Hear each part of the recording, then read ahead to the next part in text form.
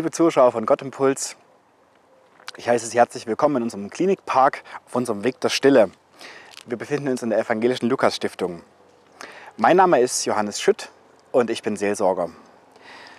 Was erwartet Sie heute? Unser Weg der Stille hat vier Stationen zu Psalm 23. Und diese Stationen möchte ich mit Ihnen gerne durchgehen. Sie sollen Ihnen helfen, über Gottes Wort und Ihr Leben nachzudenken und auch ins Gebet zu gehen. Zunächst ein paar Informationen zu Psalm 23. Wenn Sie die Bibel genau in der Mitte aufschlagen, dann landen Sie mit hoher Wahrscheinlichkeit beim Buch der Psalmen. Psalm heißt auf Deutsch Lied. Das Buch der Psalmen ist somit das Liederbuch der Bibel. Die meisten Psalmen wurden vor ungefähr 3000 Jahren von König David gedichtet. So auch Psalm 23. David hatte ein sehr bewegtes Leben. Als Kind war er selbst Schafhirte und verteidigte seine Tiere mit der Steinschleuder gegen Löwen und Bären. Er kannte sich mit Schafen aus. Später wurde er König von Israel und war militärisch sehr erfolgreich. Aber er hatte auch viel zu verkraften. Den Tod eines Kindes, Verrat von Freunden, Verfolgung durch den eigenen Sohn und nicht zuletzt auch eigenes Versagen. David beschreibt im Psalm 23 sein Verhältnis zu Gott mit dem Bild des Schafes und seines Hirten. Ich lese den Psalm vor. Der Herr ist mein Hirte, mir wird nichts mangeln. Er weidet mich auf einer grünen Aue und führt mich zum frischen Wasser. Er erquickt meine Seele. Er führt mich auf rechter Straße um seines Namens willen. Und ob ich schon wanderte im finstern Tal, fürchte ich kein Unglück, denn du bist bei mir. Dein Stecken und Stab trösten mich. Du breitest vor mir einen Tisch im Angesicht meiner Feinde. Du salbst mein Haupt mit Öl und schenkst mir voll ein. Gutes und Barmherzigkeit werden mir folgen mein Leben lang, und ich werde bleiben im Haus des Herrn immer da.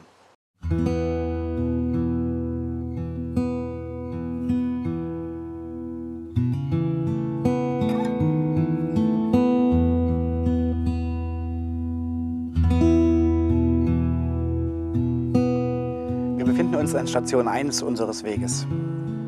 Der Beruf des Hirten ist ein harter Job.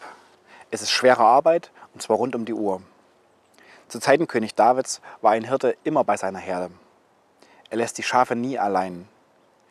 Hirte zu sein bedeutete, dass man als Nomade lebt. Weil es in Israel nur wenig regnete, reichte die, eine Weide nur für höchstens wenige Tage. Dann zog der Hirte weiter zu einem neuen Weideplatz. Diese Wege führten oftmals durch felsiges, karges Gelände. Schafe konnten sich dabei verletzen. Der Hirte würde ein verletztes Schaf verarzten, auf die Schultern legen und tragen. Schafe konnten vom Weg abkommen und sich verirren. Es gab keine Zäune, die eine Weide eingrenzten. Der Hirte würde das Schaf suchen. Wölfe oder sogar Bären oder Löwen konnten hinter Felsen lauern und sich auf die Schafe stürzen.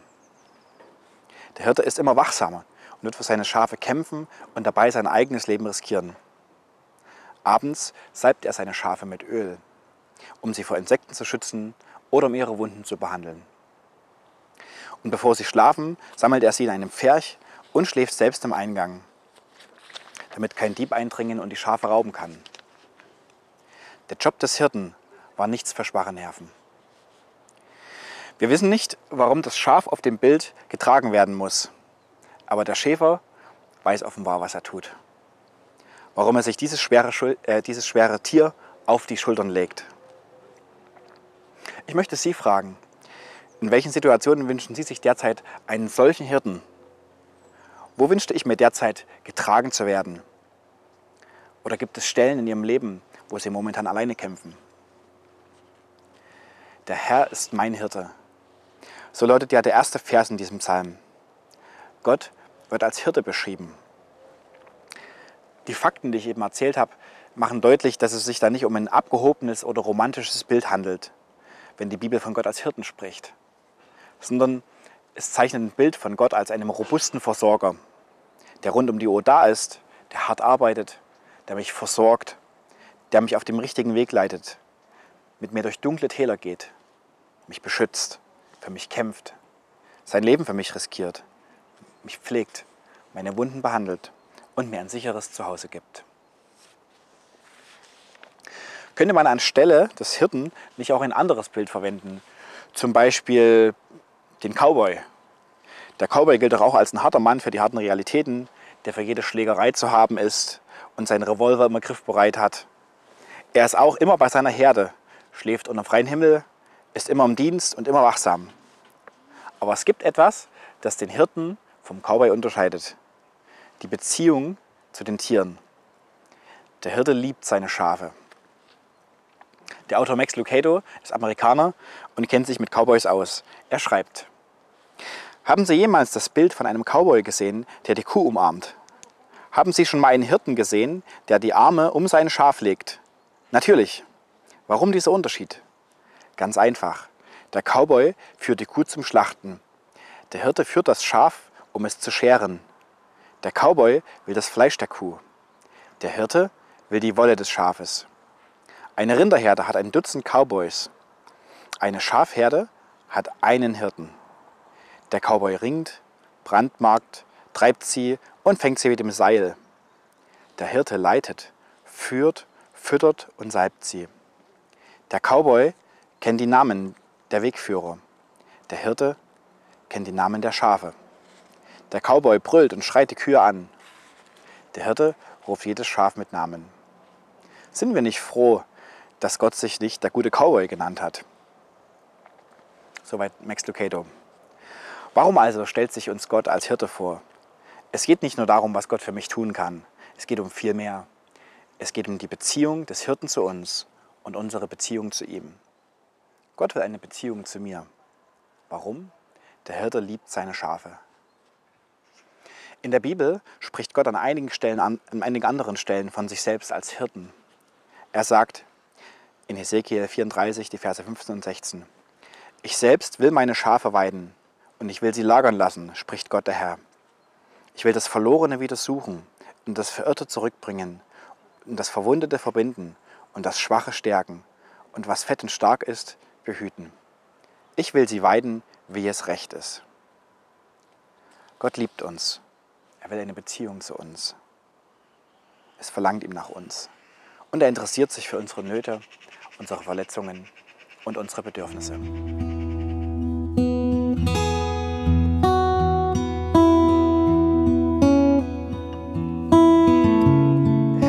Hirte, mir wird nichts mangeln. Er weidet mich auf einer grünen Aue und führt mich zum frischen Wasser. Er erquickt meine Seele. König David, der Dichter vom Psalm 23, lebt in Bethlehem. Wer schon mal in Bethlehem war, der weiß, dass es dort ziemlich karg aussieht. Direkt hinter Bethlehem beginnt die Wüste. Es regnet nur selten. Es herrscht Mangel. Mangel an grünem Gras, Mangel an Bäumen und damit Mangel an Schatten. Ja, und dann beginnt die Wüste. Die Wüste ist der Ort, wo Mangel herrscht. Und manchmal ist unser Leben eine solche Wüste. Wir erleben Mangel und das bringt Nöte mit sich. So gibt es materielle Not, wenn grundlegende Bedürfnisse nicht gedeckt sind, wie Wohnung, Nahrung, Kleidung, finanzielle Versorgung. Ein zweiter Bereich sind situationsbezogene Nöte.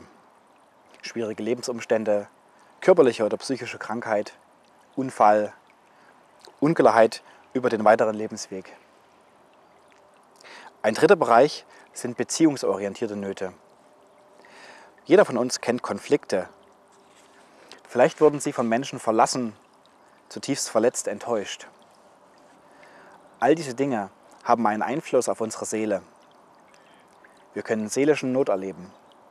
Wir können Angst kriegen, traurig werden, verzweifelt sein, bitter werden, verzagen und mutlos werden. Die seelischen Nöte sind von allen Nöten die intensivsten, denn sie erzeugen Schmerzen in unserem Herzen. Unsere Seele dürstet nach Leben. In diesem Psalm werden all diese Nöte angesprochen und dass Gott sich als guter Hirte darum kümmert. Der Herr ist mein Hirte, mir wird nichts mangeln. Er weidet mich auf einer grünen Aue und führt mich zum frischen Wasser. Deshalb steht hier eine Wasserschale und eine Bank inmitten einer grünen Wiese, einer grünen Aue, um zu zeigen, Gott möchte uns erfrischen und unserer Seele neue Lebenskraft geben. Es ist hilfreich, wenn wir das Bild von der grünen Aue in diesem Psalm etwas besser verstehen. Grüne Auen im alten Israel, das ist nicht, wie wir es uns vielleicht in Irland vorstellen, wo die Schafe wochenlang grasen können auf der grünen Weide, sondern grüne Aue in Israel bedeutet eine, eine, felsige, eine felsige Landschaft, wo vielleicht mal vorübergehend ein grüner Schimmer drauf liegt. Die Aue reicht vielleicht für einen Tag. Und dann ist sie abgegrast. Und da kommt der Hirte ins Spiel, denn er ist dafür da, dass die Schafe eine neue Stelle finden, wo sie grasen können. Es gibt auch in der Gegend keine, keine großen Gewässer, keine üppigen Bäche. Aber der Hirte wird es suchen, wo eine Wasserquelle ist, wo die Schafe trinken können. Der Hirte sorgt dafür, dass sie, dass sie für diesen Tag, für diesen einen Tag etwas zu essen und zu trinken haben. Und dann wieder für den nächsten und für den nächsten. Es ist also nicht das Bild von dem Schäfer, wie er wochenlang auf derselben Wiese steht mit seinen Schafen. Und die Botschaft, die drin steckt, bedeutet, Gott, sagt, äh, Gott sorgt täglich, tagtäglich aktiv für mich und er kümmert sich um das, was ich heute brauche. Er kümmert sich nicht nur um meinen Körper, er kümmert sich um meine Seele. Er erquickt meine Seele. Ein wunderschönes Wort, erquicken. Er haucht meiner Seele neue Lebenskraft ein. Was hilft es, wenn mein Hunger gestillt ist und man hat vielleicht auch gerade keine Feinde, aber die, das Herz, die Seele ist trotzdem leer und durstig. Unsere Seele braucht einen Anker, einen Fixpunkt, einen Hüter, den guten Hirten. In der Bibel wird beschrieben, was Gott unserer Seele geben will. Er errettet die Seele, er bewahrt sie, er führt sie, er erhält sie am Leben. Er naht sich meiner Seele und er erlöst sie. Er erfreut die Seele. Er sättigt die durstige Seele. Er erquickt sie durch seinen Trost. Er behütet meine Seele. Er gibt meiner Seele große Kraft. Er nimmt sich meiner Seele herzlich an. Diese Beschreibungen machen deutlich, welche Funktion unsere Seele hat.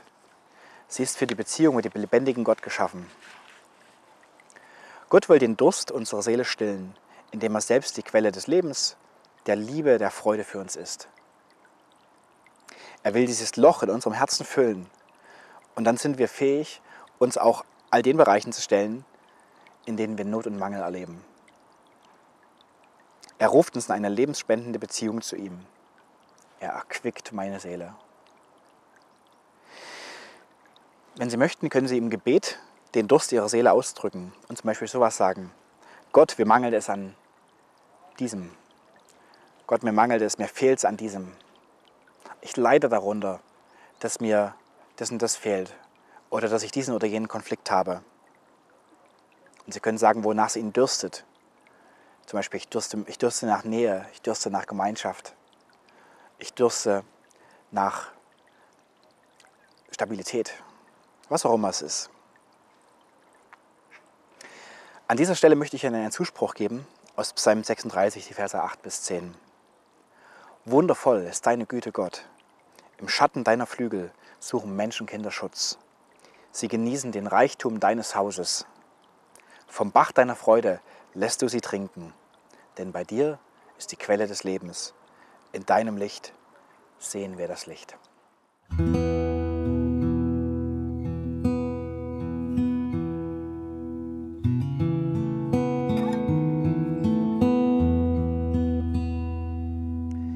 Wenn ein Hirte mit seinen Schafen zu einem neuen Weideplatz zieht, kann der Weg durch ein dunkles Tal gehen, in dem wilde Tiere lauern. In Israel gibt es einige sogenannte Wadis. Das sind trockene Flusstäler, die oft lange Schluchten bilden können, lange und enge Schluchten. Der Weg der Schafe kann sie durch so ein finsteres Tal führen. Die Schafe sind aber nicht allein. Der Hirte führt sie den Weg durchs dunkle Tal.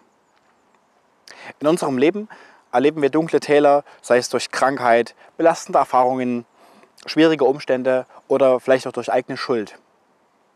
Das kann Angst auslösen und uns belasten. Wir fühlen uns orientierungslos und einsam und allein. Was ist der richtige Schritt? Was ist der richtige Weg? In unseren Lebensfragen und Entscheidungen sehen wir uns nach Orientierung, Wegweisung, Beistand und Trost. Psalm 23 geht weiter mit den Worten, Du führst mich auf rechter Straße um deines Namens willen. Und ob ich schon wanderte im finstern Tal, fürchte ich kein Unglück. Dein Stecken und Stab trösten mich. Hier geht es um Führung, um Wegweisung und um Beistand, um Schutz und Trost in finsteren Tälern. Gott will uns den richtigen Weg führen. Das heißt nicht, dass wir keine finsteren Täler erleben. An manchen Tälern kommen wir nicht vorbei. Da gibt es vielleicht keinen Weg außenrum, sondern Gott führt uns mitten hinein. Er führt uns hindurch und auch wieder raus. Der Psalm wird genau an dieser Stelle ganz persönlich. Denn hier wird auf einmal Gott direkt angesprochen. Und ob ich schon wanderte im finstern Tal, fürchte ich kein Unglück, denn du bist bei mir. Im finsteren Tal zu sein ist schlimm genug. Noch schlimmer ist es, dort allein zu sein. Aber hier ist die Aussage, ich bin nicht allein. Du bist bei mir, Gott. Und hier wird gesagt, dein Stecken und Stab trösten mich. Wofür steht eigentlich dieser Stab, dieser Hirtenstab? Er ist oben geschwungen, damit der Hirte das Schaf am Bein fassen und zu sich zurückholen kann. Und er ist dafür da, um Angreifer in die Flucht zu schlagen. Was würde er tun, wenn auf einmal ein Wolf kommt und ein Schaf aus der Herde rauben will? Der Hirte würde mit seinem Hirtenstab dem Wolf entgegentreten. Er würde sich schützend vor sein Schaf stellen. Er würde kämpfen, um den Wolf zu vertreiben. Und hiermit wird gesagt, genau das tut Gott. Er kämpft für uns, um uns zu beschützen. Jesus greift dieses Bild vom Hirten in Johannes 10 auf und sagt über sich selbst, ich bin der gute Hirte. Der gute Hirte opfert sein Leben für die Schafe. Ein Schäfer, der nur für Lohn arbeitet, läuft davon, wenn er einen Wolf kommen sieht. Ich bin der gute Hirte. Ich kenne meine Schafe und sie kennen mich, so wie mein Vater mich kennt und ich den Vater. Ich gebe mein Leben für die Schafe. Jesus kämpft und siegt für uns. Den größten Kampf hat er schon gekämpft. Er hat sein Leben nicht nur riskiert, Jesus hat sein Leben für uns gegeben um uns aus dem Würgegriff von Sünde und Tod zu befreien. Er ist am Kreuz gestorben, um unsere Schuld vor Gott zu vergeben. Und er ist vom Tod auferstanden, um uns Leben mit Gott als unserem guten Hirten zu schenken. So sehr liebt er uns und so sehr kämpft er für uns. Und nun dürfen und sollen wir uns an ihn wenden.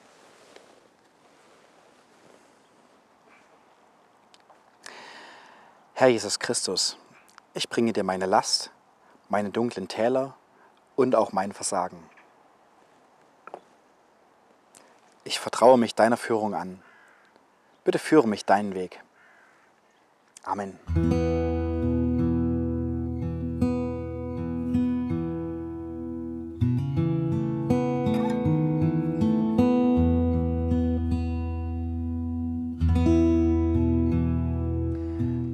Bereitest vor mir einen Tisch. Du salbst mein Haupt mit Öl und schenkst mir voll ein, heißt es in Psalm 23. Gott ist der Gastgeber in diesem Psalm. Gott füllt ihnen das Glas bis zum Rand, sogar bis zum Überfließen. Was für eine Aussage. Der Schöpfer des Universums deckt mir den Tisch. Es ist ein Festmahl für ihn und für mich. Es ist interessant, wo der Tisch steht, den Gott bereitet. Du bereitest vor mir einen Tisch im Angesicht meiner Feinde. Wir denken vielleicht, wir können erst feiern, wenn alle Konflikte, alle Widrigkeiten und alle Feinde aus unserem Leben verbannt sind. Das Problem ist nur, das ist eigentlich so gut wie nie der Fall. Wir sind immer mit schwierigen Menschen oder schmerzhaften Lebensumständen konfrontiert und umgeben. Diese Dinge sind sowieso da. Gerade deshalb ist diese Aussage so bemerkenswert. Du bereitest vor mir einen Tisch im Angesicht meiner Feinde. Wo man sich das so schön vorstellt, wie so die ganzen Menschen, die einen nicht leiden können, um um einen herumstehen und mittendrin hat man sein Festmahl. Gott bereitet ein Essen für zwei, für mich und für ihn, hier und jetzt, inmitten von schwierigen Lebensumständen vor. Das ist keine Vertröstung aufs Jenseits, sondern eine Botschaft für hier und jetzt. Ja, das Leben ist nicht leicht, es gibt Feinde und Leid und schwierige Lebensumstände. Das wird in dieser Welt nicht aufhören. Aber in der Gemeinschaft mit mir kannst du inmitten dieser Lebensumstände feiern und fröhlich sein und genießen. Gemeinsames Essen ist Feiern. Gemeinsames Essen bedeutet Gemeinschaft, Beziehung. Und im alten Israel bedeutete es auch, ich nehme dich an. Du salbst mein Haupt mit Öl. Öl war das Parfüm in der Antike. Man nutzte es, um sich frisch zu machen. Öl wurde auch bei Schafen eingesetzt. Fliegen schwören um den Kopf der Schafe und legen ihre Eier in der Nase der Schafe ab. Ein paar Tage später schlüpfen die Larven und graben sich in die weichen Schleimhäute der Nase ein. Für Schafe ist dies schmerzhaft und sie reiben dann ihren Kopf auf, der, auf dem Boden und schlagen ihn sogar gegen Baumstämme, um diese fiesen Eindringlinge loszuwerden. Sie können dabei sterben oder gefährliche Infektionen erleiden und erblinden. Das Öl schützt sie vor den Insekten und das Öl wurde verwendet, um ihre Wunden zu verarzten und zu heilen. Was für ein Bild für Gott. Gott als Gastgeber, der mir den Tisch deckt und mich verarztet und heilt. Aber noch mehr. Gutes und Barmherzigkeit werden mir folgen mein Leben lang und ich werde bleiben im Hause des Herrn für immer. Es geht darum, zu Gott nach Hause zu kommen und ein Teil von seiner Familie zu werden. Nach Hause kommen zu Gott, zurückkehren in die Beziehung zu ihm. Darum geht es. Jesus beschreibt es mit den schönsten Worten. Er erzählt folgende Geschichte. Ein Mann hat zwei Söhne. Der Jüngere fordert das Erbe, was ein absolutes Tabu war. Aber der Vater teilt Hab und Gut unter sie auf. Der jüngere Sohn verkauft seinen Anteil, geht in ein fernes Land, führt dort ein wildes Leben und verschleudert sein Erbe. Eine Hungersnot kommt und ihm geht es schlecht. Er hängt sich an einen, an einen Mann und der schickt ihn zum Schweinehüten. Aber nicht mal das Schweinefutter darf er essen. Das ist sein finsteres Tal. Dort kommt er zur Besinnung. Selbst die Arbeiter im Haus meines Vaters haben genug zu essen und ich verderbe hier. Ich will mich aufmachen und sagen, Vater, ich bin vor dir und vor Gott schuldig. Ich bin nicht länger wert, dein Sohn zu heißen. Mach mich zu einem deiner Arbeiter. Also zieht er los. Als er noch weit entfernt ist, sieht ihn sein Vater. Der Vater rennt seinem Sohn entgegen, er fällt ihm um den Hals und küsst ihn. Der Sohn sagt seinen Satz, Vater, ich bin schuldig vor dir und vor Gott. Ich bin nicht länger wert, dein Sohn zu heißen. Was wird der Vater tun? Der Vater sagt, schnell, bringt die beste Kleidung und zieht sie ihm an. Gebt ihm einen Ring an seinen Finger und Schuhe an seine Füße. Schlachtet das Mastkalb. Lasst uns feiern und fröhlich sein, denn mein Sohn war tot und ist wieder lebendig geworden. Er war verloren und ist wiedergefunden. So ist Gott, so ist Jesus. Er gibt ihm seine Identität und seine Stellung als Sohn wieder. Und er feiert ein großes Freudenfest, weil sein Kind nach Hause gekommen ist. So wird Freude sein vor Gott über einen Menschen, der zu Gott umkehrt und nach Hause kommt. Gott will uns. Wir haben ihm den Rücken gekehrt. Er will uns noch immer. Die Frage ist, wollen wir ihn? Wollen wir Teil seiner Familie sein? Dafür steht der Tisch, für diese Liebe, diese Annahme, diese Gemeinschaft. Jesus Christus sagt, jeder, der mir Vertrauen schenkt, soll ewiges Leben haben. Ja, ich werde ihn am Ende der Zeiten zum Leben erwecken. Johannes 6, Vers 40. Und noch eine andere Stelle aus Offenbarung 21, die Verse 3 bis 4.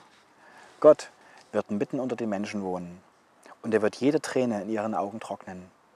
Der Tod wird nicht mehr da sein, keine Trauer, kein Schreien, kein Schmerz wird mehr existieren.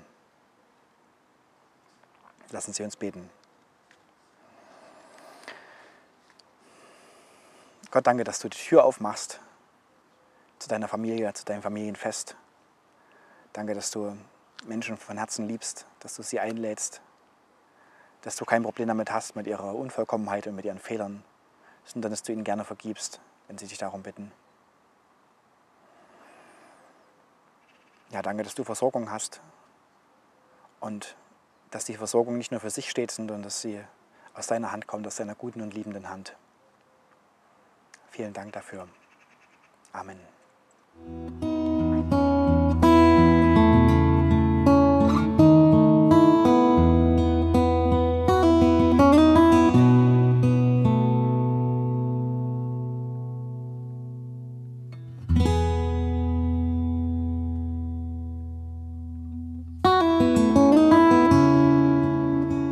Vielen Dank, dass Sie sich mit mir auf diesen Weg der Stille begeben haben.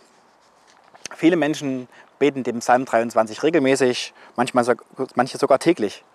Ich lade Sie ein, beten Sie doch den Psalm auch mal ganz bewusst.